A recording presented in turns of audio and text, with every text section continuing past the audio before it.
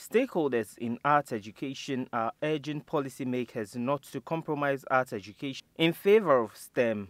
STEM education encompassing science, technology, engineering and mathematics is becoming an integral component of the Education Ministry's plans.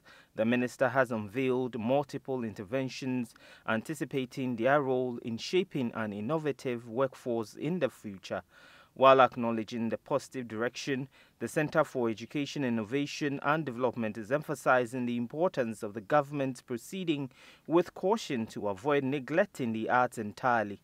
Speaking at the high school poetry competition held at the University of Ghana, the center's country lead, Selina Torreson Saka, expressed concern that an excessive focus on STEM might relegate arts education, including literature, among other forms, to the background. Very, lately, we have people talk about STEM. STEM is everywhere.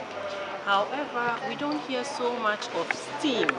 We don't hear of the art component, um, which is very critical in, in, in, in, in, which is very critical in making young people successful.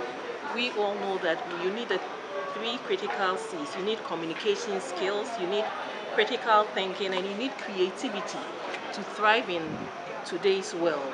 However, um, we, are, we are so drifted towards the sciences, and I feel like we should create some spaces to give the arts some relevance. The annual poetry and essay competition serves as a platform that unites high school students, teachers, and, and practitioners to present poetry and essays from various high schools in Ghana. It is designed to improve the accessibility and quality of learners' innovations in both poetry and essays. The event was graced by the Executive Secretary of the Ghana Anti-Corruption Coalition, Beauty Emefa Nartey. Mrs. Nartey described poetry as a catalyst for social transformation which should be explored effectively. She further pledged her outfit's support for the program in the future. The students from qualifying schools treated the gathering to poetry performances on topics such as environment, corruption and gender. The winners also went away with laptops and certificates as well.